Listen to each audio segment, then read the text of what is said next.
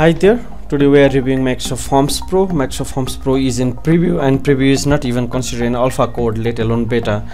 Microsoft Forms Pro is a simple yet comprehensive survey solution that builds on current survey creation experience of Microsoft Forms in Office 365. Head on to Forms Pro website and sign up for your enterprise or organization's domain if you haven't already. It offers new capabilities that make capturing and analyzing customer and employee feedback simpler than ever before, Microsoft claims. Your customers can respond to survey by using any web browser or mobile device and responses are submitted that use Power BI reports to analyze them and make decision in real time.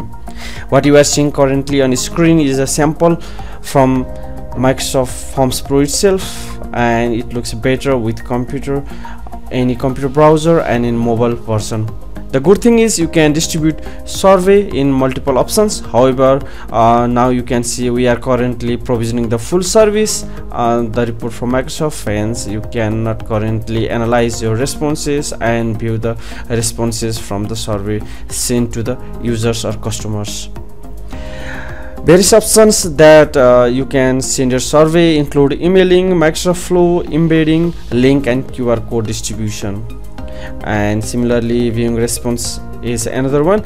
Here we have created a custom form incident accident reporting form and a couple of new introductions here. Now you can use a logo of your own and even uh, rich text in questions and you can also have pipes names pipe names uh, in the questions however it is very sad to learn that microsoft hasn't enabled so many new uh, not much uh, new question survey question options uh, including those that we are used to with uh, google forms. And that was that is a big uh, drawback with uh, google forms pro as of now.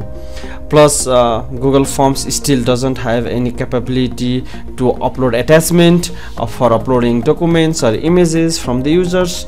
And i also could not see any pages or pagination in the survey questions. However the branching rule as you can see is very comprehensive. You can define conditions and multiple conditions even and according to conditions you can also define your rules if true or false. And really the branching rule is very comprehensive. Just give it a try however still there's no ownership of uh, forms that are created. And the good thing is forms can now be distributed to mailing list directly from the system.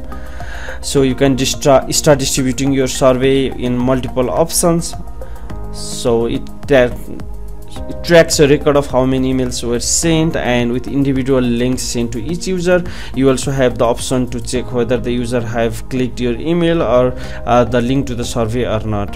You can also personalize the email and use rich text everywhere. However uh, with a little disappointments uh, you still have a lot of other features including default templates. You can change the template and save this email template for yourself. Templates you can change for other options including the embedding options and microsoft flow. Microsoft flow will can also help you link your forms to other options uh, that you can use microsoft flow with you also have a getting started with forms pro document. That's also still in preview feature. And this enterprise survey capability helps microsoft business, uh, businesses obtain feedback they need to master smart decision microsoft claims.